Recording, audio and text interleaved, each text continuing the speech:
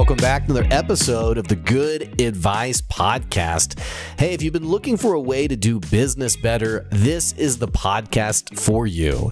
I'm your host, Blake Binns. I've been doing this podcast for about five years now, I guess, and I run a business called Good Advice, which really came about because I was tired of how often people were talking about concepts and theories. And here I was as a business owner thinking, hey, just tell me what I need to do. Like, what do I actually need to do to grow this thing? So that's the heart and soul of the podcast. Whether you're a long-time listener or a first-time listener, you're going to get some good advice today. Today's episode is an amazing one. We have Ben Guttmann on the show today. Ben has an incredible background in marketing. He just published a book called Simply Put Why Clear Messages Win and How to Design Them. Let me say this very clearly you need this book. You need to get a copy of this book because I know if you're like me, many of us, we know all the amazing things about our business, but we don't know how to really boil that down into a simple line to actually tell people that makes sense to them. And more importantly, for people who are our customer, we often struggle to talk about it in a, in a compelling way that gets them one step closer to hiring us for our services. All of that is covered on today's show today. Ben was an amazing guest. I think you're going to love this episode. Before we dive in, though, we do have a word from one of the amazing businesses that sponsor the podcast. By the way, if you've been looking at sponsoring and advertising on the show, you can reach out Blake at goodadvicecoaching.com. Of course, if you're on the Patreon, you're going to be able to skip right ahead to the episode's content. And lastly, hey, if you're loving the podcast, don't forget to leave us a review. You can also check us out on Google. You can Google NWA Good Advice and give us a five star review. It definitely helps us out. All that to say, here's a quick word. We'll be right back. Talk soon. There's one single piece of advice that I give to business owners who are ready to scale their business drastically. And that's knowing exactly what you need to hand off so that you can continue focusing on what you're an expert in. It amazes me when I talk to business owners who are doing their own bookkeeping and tax prep, and worse, that they're going through all this paperwork at 10 o'clock, 11 o'clock, even midnight, slaving away trying to make sense of all of the numbers for their business. Business owners who are making it happen have already figured out that you can't do it all yourself. That's why I recommend Steve Lay with Equity Business Solutions. Not only is he an expert in bookkeeping and tax prep, but what I love about Steve is that he'll sit down with you and help you make sense of the value of your business beyond just reading a spreadsheet. You'll be able to make better decisions, and more importantly, you're going to save yourself the crucial time you would have spent going through QuickBooks or an Excel spreadsheet or whatever it is that keeps us up late at night. So save yourself some time and some money by giving Steve Lay a call at Equity Business Solutions, and he'll show you the value beyond your numbers. Go to equitybusinesssolutionsllc.com to find out more. Okay, Ben, you are joining the show. We've already been chatting. I love guests like you, by the way, where I get on the call and immediately it's like, oh my gosh, I could talk to this guy for an hour. Thank you for being on the podcast today. Thanks for having me, Blake. I appreciate it. Yeah, you know, it's funny you mentioned that. When I when we used to run our agency and we would meet with clients, we'd have an hour long meeting, and probably for the first 30 to 40 minutes we had we didn't talk about business whatsoever right? You're talking about you know talking about what restaurants in the neighborhood you're talking mm-hmm. about the mm-hmm. jets you're talking about whatever oh um, man and so then eventually you get to the point where it's like okay let's let's get down yeah we should probably we should probably yeah that's what i felt like. I was like we should probably record this episode uh, now that we're chatting. So you're based you're based out of new york um so you are a jets fan. What what, what is what is life like for you man well, I mean, this week when we're recording it, we just beat uh, the Eagles, which uh, I saw that game. Feel wonderful. Yeah, that was a wild game. Um, so, uh, but I'll put it this way: uh, my wife and I have been together for ten years. Uh, in those ten years, the Jets haven't made the playoffs. Uh, there's the longest drought of any major North American sports team of not making the playoffs, and it's been not only bad, but it's been like boring bad there's, yeah. there's, there's, there's good bad and there's boring bad. And uh, so I was born into this. It was a really rough experience. Uh, however, I am a Yankees fan, and uh, okay. I had a very great childhood yeah. with the Yankees. Sure. Uh, the last few years, you know, hit or miss depending on you know what's going on. But uh, you know, I can't win too much. I can't lose too much. At least it, I have something in the middle. It keeps you humble. Right? Yeah, you know. So I'm I a think it Razor- builds character to be a Jets fan. That's right. so I'm a Razorback fan, which my, our local, the, we have listeners all over the world, but for the local people, they're going to give me a hard time because I'm actually not a very big Arkansas Razorback fan. And when someone gives me, and, and here in Northwest Arkansas, we have so many um, uh, transplants, like people who who come here, they're here, they're here for a season, and they move on. You know, and I've I've lived in Arkansas my whole life, almost. Um, and so people are like, "Oh, you're not like a diehard Arkansas Razorbacks fan," and I'm like, I have seen them lose for 20 years of my life. So, you know, excuse me for not being diehard, but it's only because I've been hurt so much, honestly, but not unlike the yeah. Jets a little bit. So, I mean, it was the most Jets thing that ever happened. You know, week one when Aaron Rodgers goes down, and the, the it's it's right. It- it's incredible. It's Yeah. incredible. Um, well, let's let let's talk a bit. So you you were um running a a marketing agency. Um right now you're the principal of Unisphere Ideas. You just launched this book uh which I want to make sure I I it's it was said in the intro but I want to make sure that um I I say it again for everybody listening. So the book is called Simply Put um, and you can get it on Ben's website, benguttmann.com. That's G U T T M A N N.com. Two T's, two N's. Um, ben, I've actually, uh, so anytime someone comes on the show, um, I think it's very obnoxious to just be like, who are you? What do you do? Oh, cool. So what's it called? so I, I try to do like at least a little bit. Um, and so we talked uh, a while ago about you coming on and you sent me a copy of the book. I really like it. I really That's have enjoyed the book.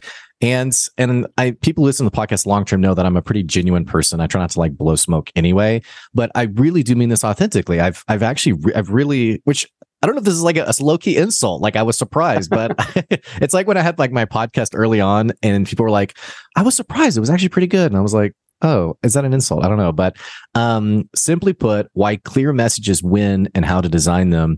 Tell me a little bit about what got you what got you cooking on writing the book. Like I gotta make a I gotta write a book. I gotta do this thing. Um, I'd love to hear the story of that.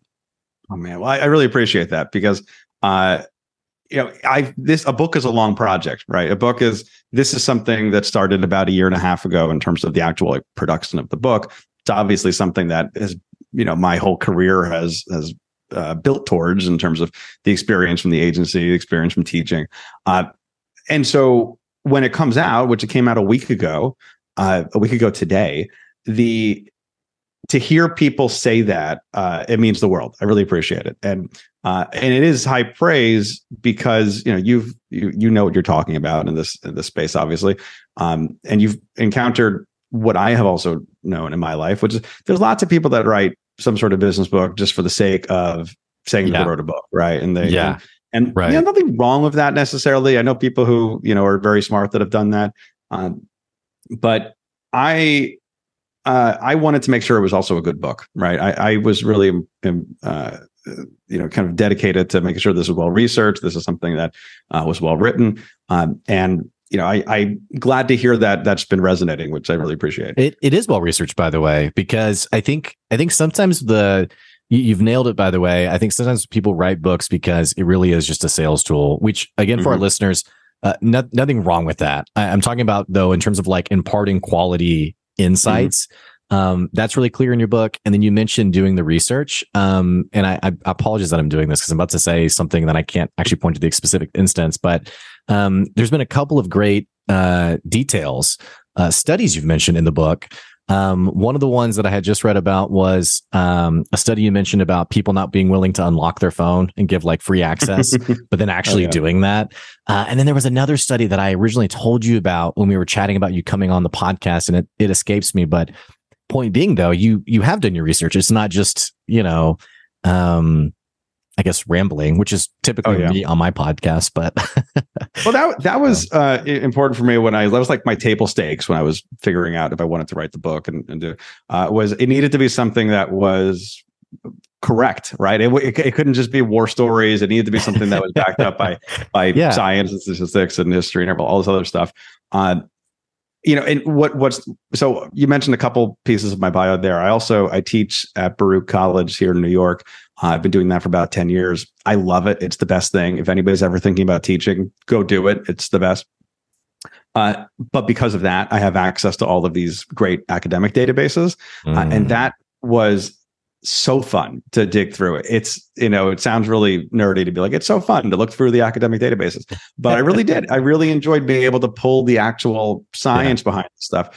Um, and that was interesting because there ended up being this contrast between the sources that I got from that and the sources that I found otherwise, or the stuff I was trying to find otherwise, uh, where I realized the internet in many ways is a lot worse today than it was five years ago or 10 years ago, where it's just hard to find stuff. There's mm-hmm. so much. I mean, right now we're dealing with the deluge of AI stuff that's going on, right? Mm-hmm. Um, but you know, even before that, we're talking about you know a, a generation's worth of SEO bait that's been piled on the internet. Um, and every time I would try to find something like a statistic about literacy, it would take me three hours because I would find, I would Google it, I would find something, but it, it, wouldn't have a great source, and I would go somewhere else, and I would just see that that sourced an infographic somewhere, which sourced a Facebook post, which and then yeah. eventually you know circles around. And so whenever you see something on the internet that is just a statistic or a quote or something that gets repeated over and over again, it's probably not true it's probably and so when when I eventually start getting down to like the original sources there, everything was just taken out of context and it wasn't the right information. So it would take three hours to go find a statistic that was from like a government report that was reliable, that was up to date, uh, and that I felt comfortable putting in there, and that would make up like half a sentence, right? And yeah. so, um, and and that is a really tough thing, and I I, I realize um, you know that that's going to that if that's a problem for me in this kind of you know deliberate effort to write something anybody that's just saying hey i need to quick quickly look something up uh it's we're, screwed i mean yeah. to be honest in terms of finding the truth yeah, and I, have had that issue too because I, I, do a lot of um, solo episodes on the podcast or write a lot on LinkedIn, and I'll I'll find a data point like exactly what you said, like a study, like a government or like uh, SBA study, whatever it is, and then when I try to find the original study to like read about it, I, I cannot find it anywhere. And it really mm-hmm. is like it's an in, in, in, infographic on some random page that referenced the Small Business uh, Administration, and I'm like, where where is the info? Um, so I, you make a great point. So so what what why was it important to you though to put in you know the hours of work for that single sentence i mean obviously it mattered to me i mean we're talking about it i was like because like, it matters to you right yeah, that's i guess why. that's it right i'm answering my own question but you know it's interesting though and maybe this is a, an interesting conversation to have about like marketing in general um it feels like going that extra mile it, it, it i don't know how immediately you get rewarded for it. I mean, we're talking about it now. You went the extra mile. You had a you had um, a standard for how you wanted to write this. Um, let's let's talk about marketing a little bit because yeah. marketing in general, and you even mentioned AI, it feels like there is much of this path of least resistance. Um, what's the shortest path to creating content or uh, I, even even I was talking to someone the other day who um, she just published a book, and I was like, well, "What's the process like?" And she was like, "Honestly, ChatGPT wrote most of it."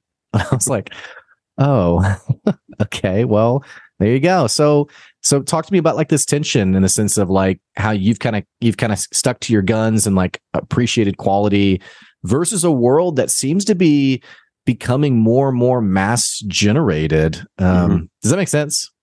Yeah, I, I, think I got what you're saying. The the thing about um, the quality that was why it was important to me uh, was because I'm going to put my name on it. It's going to you know you're going to spend you're going to spend your time reading it and someone's going to spend their money buying the book. And and all these things i wanted to respect everybody in the process and i wasn't just going to be throwing something out there for the sake of of throwing something out there. So that that's personally why it was. Um, also because in in my experience my marketing agency that i ran for 10 years um, we worked with a lot of authors over the years. And uh, it was a great honor. I, there are some folks that um, sold a bajillion copies of their books we worked with and there would be a difference that we would see in the business space. There are basically three types of authors in, in the business space. There are uh, executives or entrepreneurs. There are uh, journalists, and there are academics.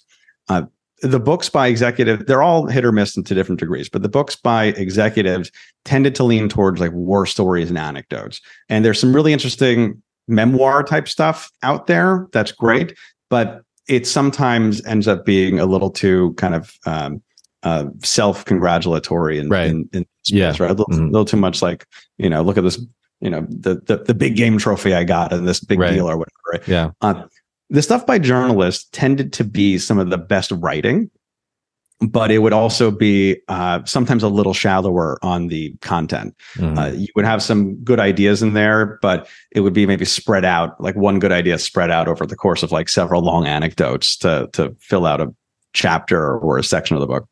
Uh, and then the stuff by academics would often be some of the harder stuff to read because the writing would be a little bit tougher, but it would be it would feel the truest if that makes sense because there was a higher level of of um, a higher bar to cross in terms of standards for stuff. Now, I, I I toe the line a little bit between some of this. I'm not a, I'm not an academic researcher, so I'm not I'm not someone like Adam Grant who's who's writing their own who's doing their own research and stuff. But you know, by being in the classroom for the past um, you know past ten years doing Right. that, I do feel a certain level of responsibility to to um, at least honor that that angle of things. And I also didn't want to just write about my agency. I, I enjoyed running our agency; it was great, but I didn't want to. I didn't feel like that was a story worth telling in in, in, in this venue. Um, so uh, that's one piece. And then to answer the other part of your question, which is what do you do about uh, this kind of deluge of of ChatGPT generated stuff? Uh, it's interesting, man. It is a this ChatGPT came out right as I was finishing the first draft of this book. Uh, and I was like, great. Oh, you know, I'm going to use this to help me research something, talk Yeah. about that research problem. yeah.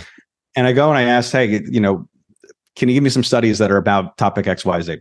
Uh, and it goes and it spits out a list. I'm like, oh, this is great. And I take that list and I dump it into the database or I, I, I, I copy it into the search bar and it studies don't exist. The authors exist and they've done some stuff in that similar space. Those titles sound plausible, but those Mm. authors have never worked together. That ti- that study doesn't exist because it was hallucinated. It looks like the right answer, and that's what it that's what these like generative AI tools are really good at, at least right now, is producing stuff that looks like the right answer. Uh, and you know, like you to your to your your uh, friend that was writing this book via ChatGPT, if you just need a physical book, if you just need to get 40,000, 50,000 words out somewhere Yeah. on a Kindle thing, yeah, I mean, it'll do it for you, but it's not going to produce anything interesting necessarily. Mhm. Well, let's talk about Yeah. the book specifically. How, how did you choose this topic? Um, I, I love this topic, by the way, which which uh, the book is more expansive than just talking about clarity. But h- how did you land on this topic of clarity? Why clarity? Um, I'd love to hear the process of that. Certainly.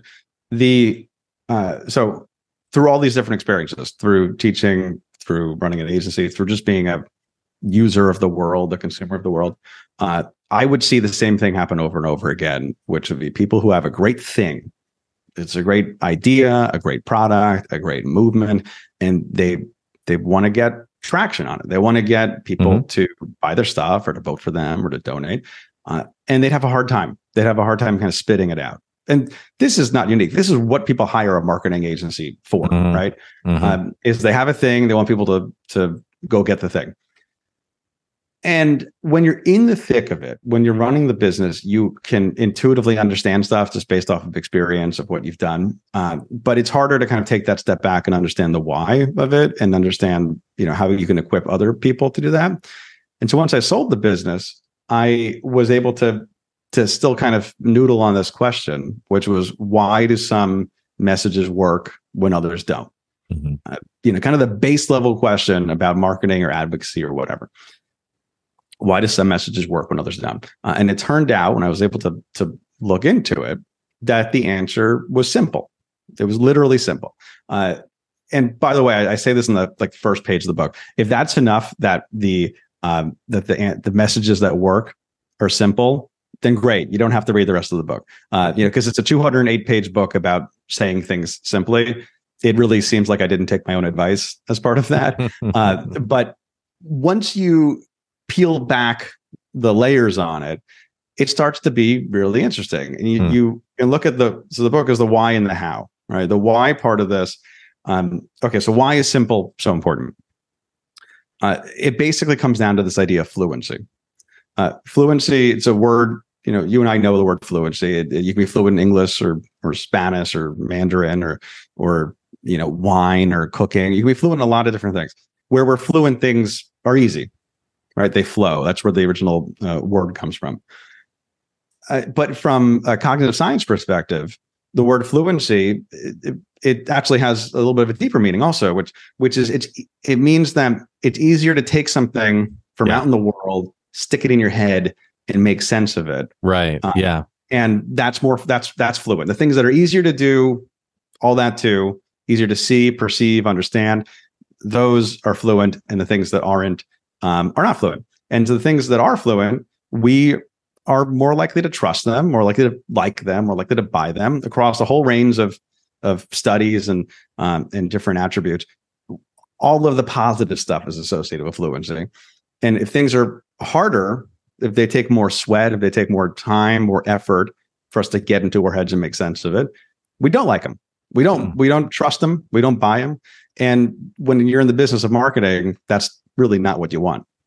Well, and it's it's and by the way, this uh, this I was opening an email from you uh, or email I sent to you. This reminded me of actually what the other story was that I really liked. The story of the uh, New York Stock Exchange ticker symbols. Oh yeah, and how the simpler ticker ticker symbols actually performed better over time compared to the more complicated ones.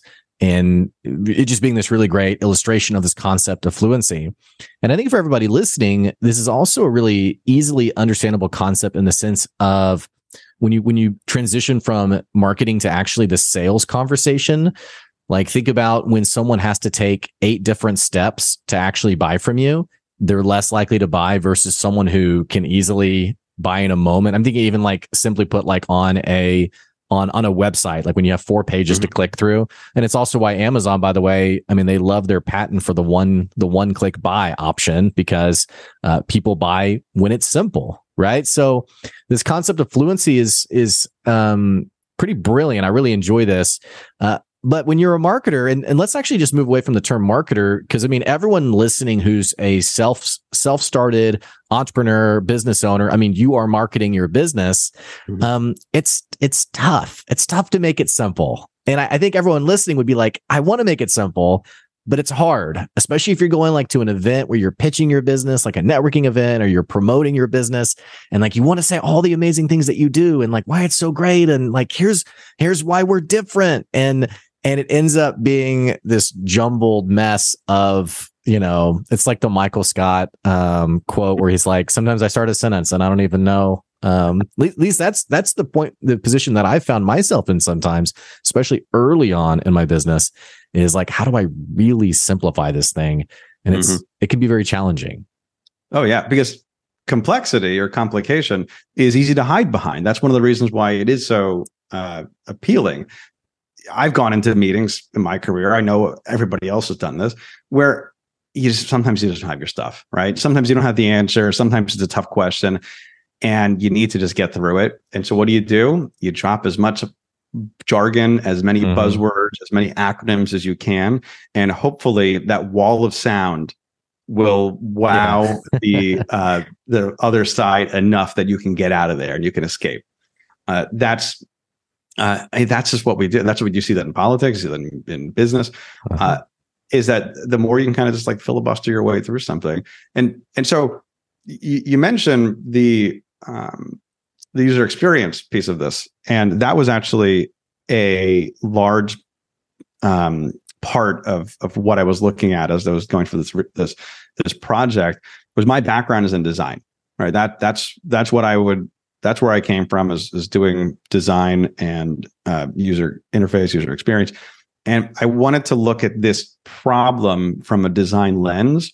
Uh, and if you go towards the end of the book there, I start talking about minimal. You know, effective messages are minimal.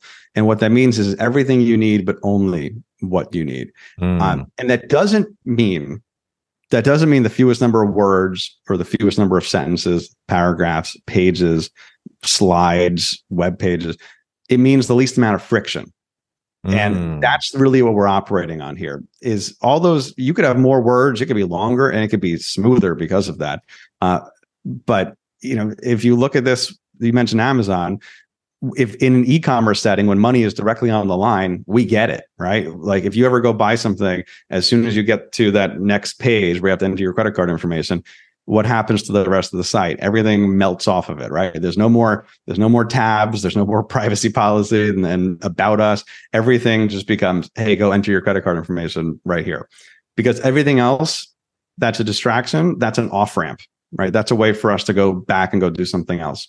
Uh, and in our communications if that is a slogan if that is an email if that is a presentation we want to make sure we do the same thing which is if we have something we want people to get to to inform them about something to persuade them about something we want to eliminate reasons for them to to have friction on that journey Yeah. So, like for the small business owner, what are some other examples of friction? Like, are these, um, is this like a lack of clarity or transparency around like price? Is it a lack of transparency around like process? Um, because I'm I'm seeing, I know we're having a marketing conversation, but I can't help but think about the sales piece of it and like where.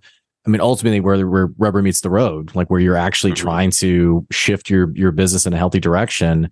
Um, but I really resonate with that word friction because I think you're right. I think I think the there's a there's a um, not misnomer. That's not what I'm thinking of. Misconception around um, thinking simple or even the word you use minimal has to mean the shortest. And I love that you drew the distinction with we're, we're talking friction here, friction with your buyer or your user, I guess. Mhm. Um, but I'm curious what other examples might might be included in that. Oh, that's that's a great one. I mean, some of the things. I mean, you mentioned pricing. I think pricing is a is a place that a lot of businesses stumble on, uh, which is just not being direct about it. Yeah, actually, you know who's really bad about pricing is is, is customers and clients are really bad about pricing. Uh, this is a slight aside, but I remember every time we would pitch a project, we would. Um, there's two things that really matter, right? There's two things. There's the timeline and there's the budget. Those are the frameworks that if, you, if those aren't possible, it doesn't matter what else is there. You can't do it.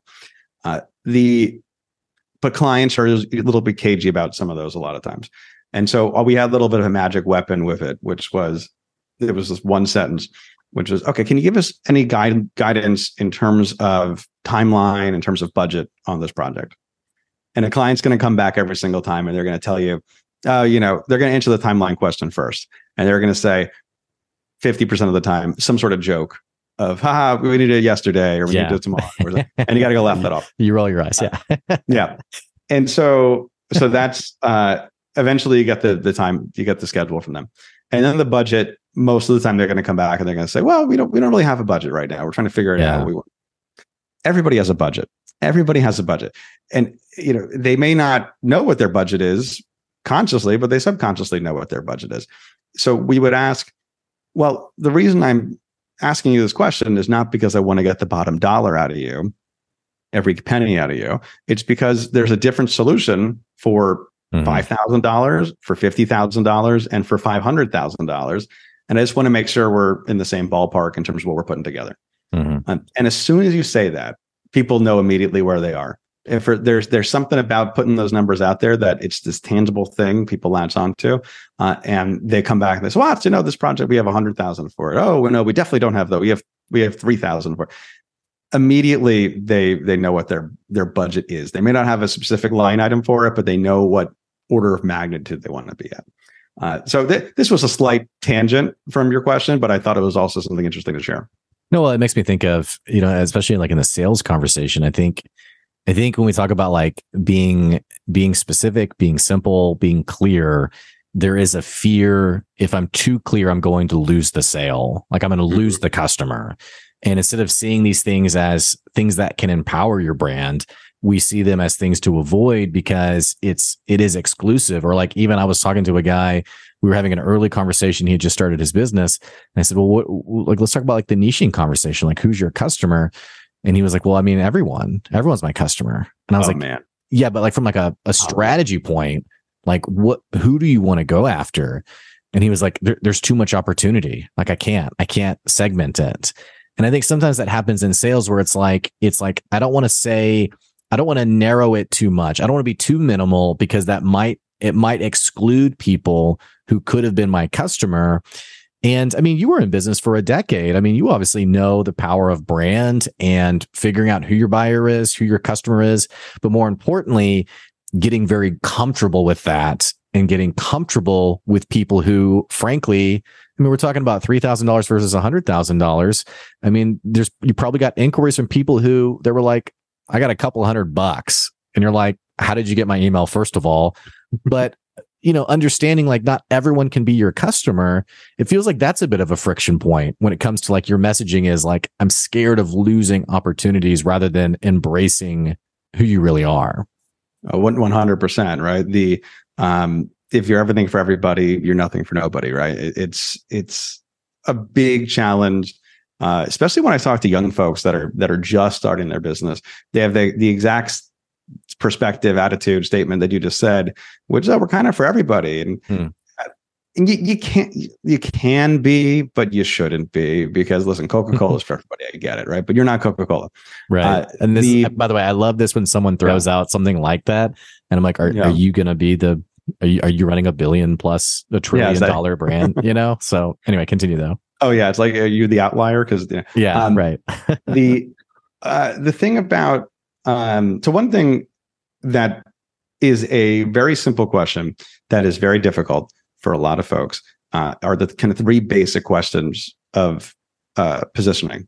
So there's I talk about positioning a little bit in the book, but uh, it's more so to kind of make things tangible. Uh, positioning as a brand is answering just three questions. It is who are you for? Who's your customer? What problem do they have that you solve? And then why are you better than everybody mm. else at solving that problem? I will tell you right now, I have sat with businesses that have done millions and millions of dollars, that have uh, people that have worked there for decades, and they can't answer these questions about their business that they spend every waking hour mm. doing. Mm um, is because they just it's easy when you're in it to not to not think about that.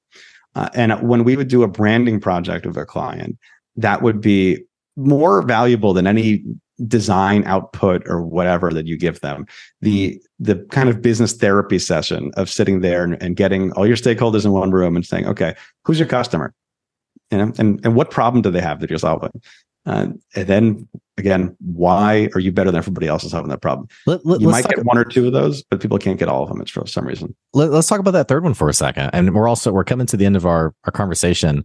Um, th- this third one, why why are you better? Or the way I see it come up a lot is um because I go to a lot of different events. I'm talking to a lot of different business owners, and I always hear, yeah, and here's how we're different from everybody else. And and the I don't necessarily have a problem with that line. It's just that what then follows is is something very like, hey, we're for example, we're here's how we're different. We give great customer service, and it's yeah, like. like it's they're like, not well, different in their difference at that point, right? Exactly, exactly. yeah. And so, or or it's such like a jargony, like highly like, hey, we're different because we have a special process that we, you know, and they name out like all these terminology, and you're kind of like, oh, okay, yeah but it, it doesn't feel like businesses have really figured out and, and and and just speaking for myself i don't even know if i figured this out mm. like when it comes to like podcasting when it comes to um seo when it comes to just like business consulting like i'm always asking myself this question not not how am i different but in a customer's eyes what would they see as being different about me mm. um and I, I i'll be honest man i oscillate from like oh yeah i I, I can see that too I have no freaking clue how I'm different, you know? And so, and I guess part of this is like you talk to your customers and kind of figure that out. But um, I'd love to, I'd love to get your wisdom on this third question for a second. Oh yeah, that's the hardest one, right? Because it's relatively easy to be like, okay, I'm targeting, you know, homeowners in these zip code. Yeah. And, you know, shouldn't be as boring as that. These people more poetic. but the the last question, I'll tell you what our answer was as as a way of answering them. Uh, when we, we when we ran our agency, we we wanted to do great work. We we generally did do great work. We hired excellent people that were talented and people knew their stuff. Um, but a lot of agencies can do great work. A lot of people can do great work. Uh, that's almost in many ways like table stakes. Uh, but what we wanted to do was we wanted their weekly meeting with us to be their favorite meeting on the calendar. That's that's what our goal was. Hmm. We wanted to be the the contractor, the supplier, the vendor that they were the most excited to work with. The ones that if they were at like the holiday party and we were there, they would hang out with us. We Hmm. wanted to be the the a pleasure to work with. Um, as as our main differentiating factor. And to open the call, we talked a little bit about how I'll sit down with a client for an hour and half of it is kind of shooting the shit. Mhm. That was strategic because first of all, I enjoyed it and I genuinely like the people we worked with, but also they're going to spend a lot of time with us and we want them to enjoy that time. And we would Mm. introduce that idea early on in the process of the sales pitch, which is you're going to spend a lot of time with your agency. You better like the people you're working with. Introduce that as a criteria in their selection. And then by virtue of us making sure that we were good people, hopefully, and we also hired good people, that we would bring that promise to life. You know, it's funny too, and it's funny you keep saying things that I'm like, oh yeah, we gotta talk more about that. But then I'm like, you know, we gotta we gotta crunch this thing in, we gotta end this thing. But I love, you know, what I was thinking about as you were talking was the a very common concept that almost everyone knows about, the know like and trust factor. Um, it- I and this is honestly the bread and butter of the podcast. It's like we're talking about these very tangible things. So what I've seen happen is people they take a concept like know like and trust and there's someone they that is their customer they want them to be their customer and so they're like you know hey how was your monday or it's like whatever is like the canned you know Mhm. question like how was your weekend or like mondays right and the person gives the response and they say oh i was out of town and instead of like leaning in and being like oh where'd you go or like oh you had a family vacation oh like how was that like what was the occasion it's oh great cool and then they sort of like check the box of like Yeah. I did the know like and trust thing. I nailed it. And like it's like I don't know the expression. I don't know if I'm smart enough to think of like what I'm really what the expression for this is, but you're talking about like no no, we're talking about the actual like tangible things you do to build the know like and trust factor versus just I did it. I asked the question. Um Mhm. which I really like. So, Oh, yeah. you know. I appreciate it. we we it's also fun on our end because the same way that they would spend a lot of time with us, we would spend a lot of time with them, and we only wanted to work with people we enjoyed, uh, and so we we purposely sought that out. And and I know I I know what you're talking about because it's basically like these people are just following a HubSpot script of like, okay, well, I yes. go check the box of like who happy birthday or Yes. But we Right. we genuinely cared uh, about the folks we work with to the point where we went to their weddings. Sometimes we, um, you I know, love that. I still Yes. keep years to a year and a half after we sold the business. I still see and and sometimes socialize and and you know they came to my event the other night. uh, Folks that we worked with, um, and it it really. Uh, it- it's just more fun. It's it's better for business. and It's more fun to, to Right. be like that. Yeah. Well, Ben, we we are out of time. Um, as much as I want to keep going, this is great. Uh, for our listeners who are listening, so um, I, I you guys listening, I want you to buy the book. Uh, it's is is the best place on your website, or would you prefer elsewhere? Um, I mean, the website will link over to Amazon, Barnes and Noble, uh, Okay. you know, Porchlight, all the different folks that, all the different places you can buy books. You can buy the book. So the book is called Simply Put. Um, it's a great looking book too, by the way, but you guys can go to benguttmann.com. Again, it's two T's, two N's. It's actually in the description of this episode. There's a link to Ben's website. Uh, and then Ben, for people who are listening, who they're like, I gotta, I gotta engage more with this guy. Like I gotta learn more or buy from this guy and get some help for my own business. W- what's the next step? Oh, I appreciate that, Blake. This has been a ton of fun, and I would totally do this every day. This is, this is a great conversation. um, you can again, you can find me at benguttmann.com. I appreciate the shout out for that. Uh, there's a free chapter download. You can go, you can go grab there if you want to preview the book. Um, I send out an email every Tuesday that is just three simple things, and it's an article I wrote, something I found, and an idea. Uh, and then finally, if you want even more from me, you can go find me on LinkedIn. Uh, again, it's just Ben Guttmann. Okay. Ben, thank you so much for coming on the podcast today. I appreciate it. Thanks for having me, Blake. This has been a blast. Hey, for our listeners, if you're listening to the podcast and you enjoy the podcast, what the heck you waiting on? Click the subscribe or follow button so you can keep getting good advice wherever you are. Also, don't forget if you are an amazing business, you want to advertise on the podcast, you can always shoot me an email at blake at goodadvicecoaching.com where we'll shout out your business like the ones you've heard at the intro to the podcast. And don't forget, we do have a Patreon where you can support the podcast for as little as the price of a cup of coffee, which these days I guess could be anything, but it's about $5 a month. so cheaper than a cup of coffee. You can go to patreon.com slash good advice. We appreciate those of you who sponsor the podcast and support the podcast. And more importantly, we love helping small small business owners like you do business better. All that to say, that's today's good advice. We'll catch you later. See ya.